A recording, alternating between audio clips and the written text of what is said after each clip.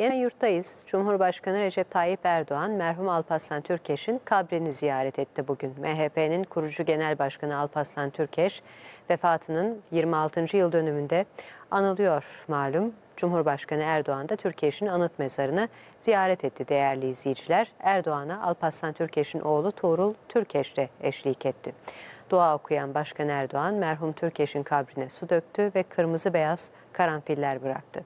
Ziyarette AK Parti ve MHP'li isimler de yer aldı. Erdoğan ziyaret sonrası Tuğrul Türkeş ile aynı makam aracıyla anıt mezardan ayrıldı.